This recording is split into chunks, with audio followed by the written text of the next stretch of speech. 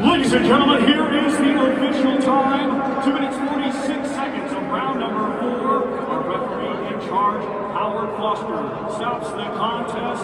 Therefore, your winner, by way of technical knockout, still undefeated, and now the WBA International Lightweight Champion, Mark Thunder